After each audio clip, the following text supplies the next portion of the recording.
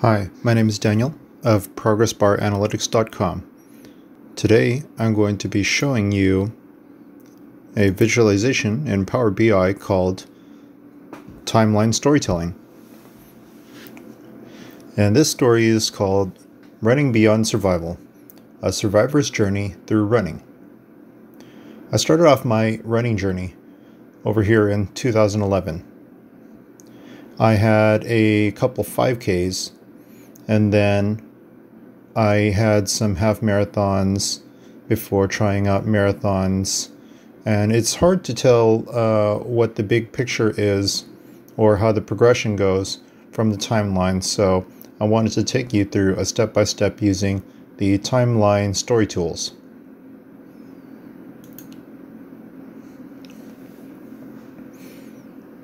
In the radial view of 2011, you can see that I did two 5Ks.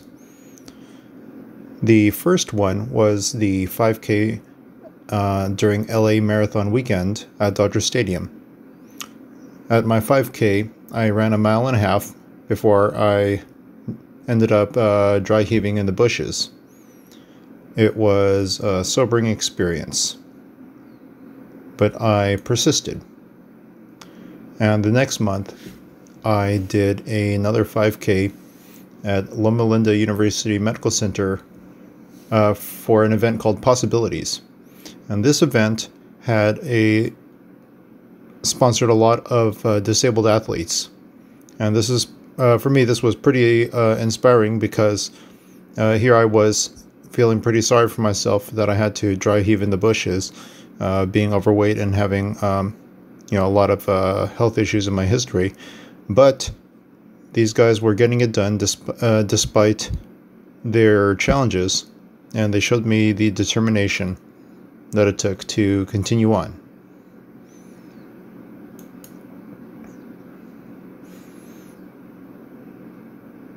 In 2012, I participated in my first half marathon at the Disney Tinker- Tinkerbell Half my coworker Tracy uh, convinced me to do this race, and I did it with a group of my coworkers, finishing uh, with a time of uh, 161 minutes with an average of 12 minutes per mile.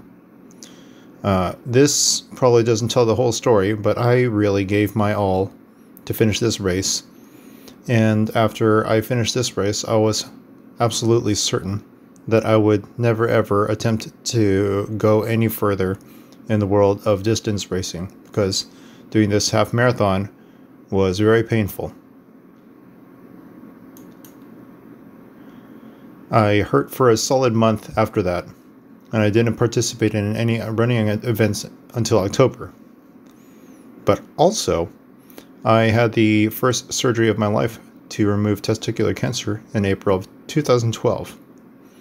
That was a pretty scary time in my life and a start of uh, a lot of dramatic events that I won't cover in detail over here. But uh, in October of that year, I recovered enough to do a 5K at Chapman University. Thinking back upon it, I probably ran so fast because I had a lot of issues to work through. But also, after uh, having experienced a half marathon distance of 5K, uh, duration worth of effort was not so bad.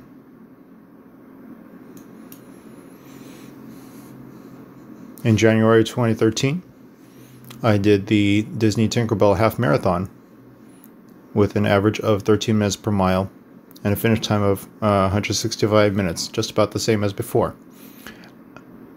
I finished this marathon, and then about a week later, I got the call from my doctor who told me that uh, cancer had returned to my body.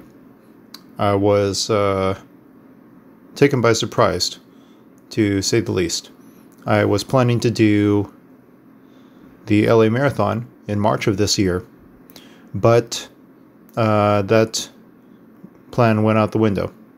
My friend Shingo, who signed up with me, had to do this race alone, uh, so I spectated uh, the race with his wife and my friend. Here I am, nice and bald right here.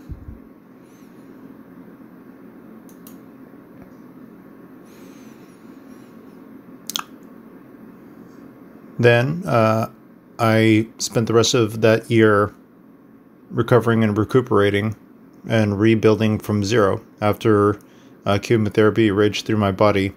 I had to start my strength journey all over again.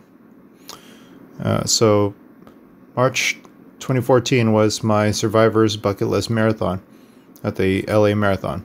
My sister did it with me, and so did Shingo. He did uh, another marathon uh, in honor of my survival. Pretty nice. I finished with uh, a time of 357 minutes. So for the first three hours, I was fine. And then uh, I ran out of gas, and I had to run with my metal Fortitude for another hour and then uh, for the remainder of the time, I was whining and crying, whining and crying, never again. Uh, but I finished it uh, with uh, all the grit that I could muster. That was pretty nice.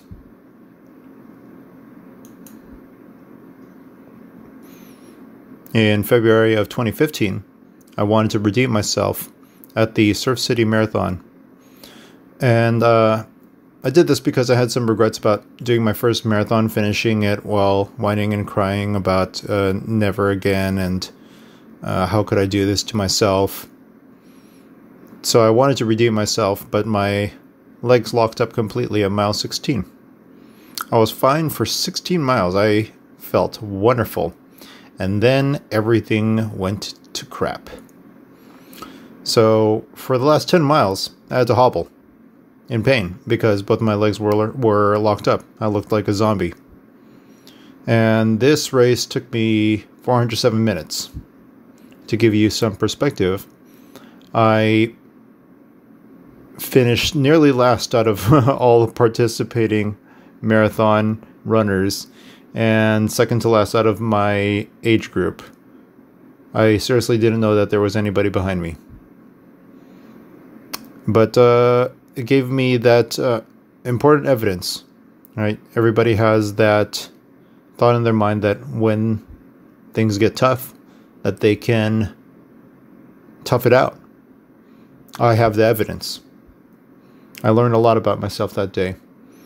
Uh, least of which was that, you know, the finishing last worry, actually not that big of a deal. This actually served as a very important experience for myself.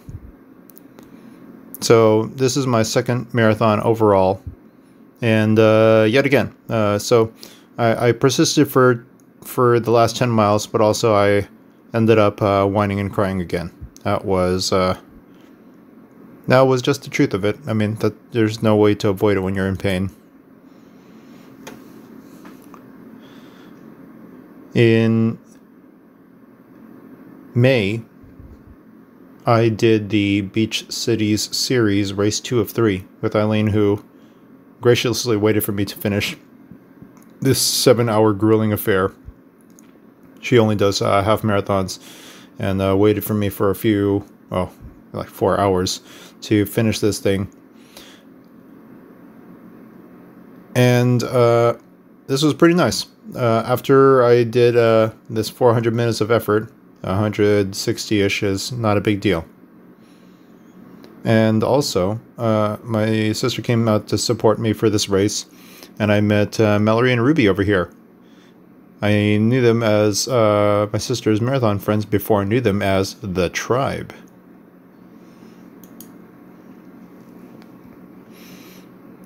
The Long Beach Half Marathon was my fourth half marathon overall and uh, my ninth running overall. I finished this with a similar time to uh, everything before, finishing at about 100 uh, and 160 ish minutes. Uh, and by this point, I realized I could comfortably do a non competitive half, half marathon. You know, just sign up for a half marathon whenever. I got this medal as a completion thing for doing a series of races which was something I hadn't considered possible back in 2011.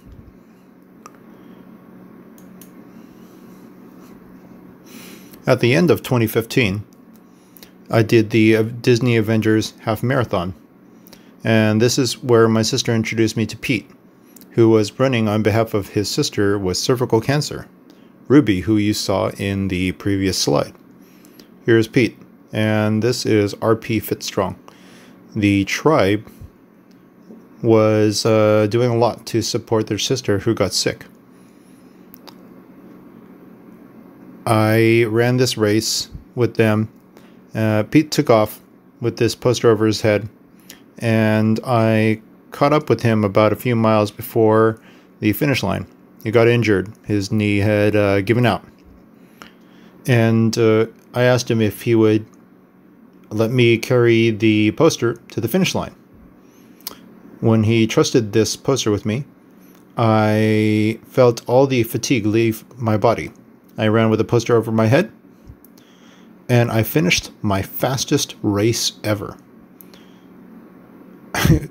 Fully two minutes faster than I ever finished a half marathon, with a finish time 20 minutes faster than I have ever finished before.